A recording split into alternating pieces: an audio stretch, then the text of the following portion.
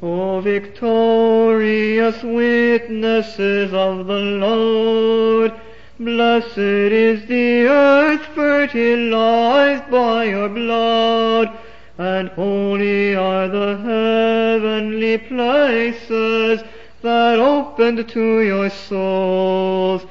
You have vanquished the enemy in the stadium proclaim Christ with courage. We beg you to intercede with him who is all good, that he may souls.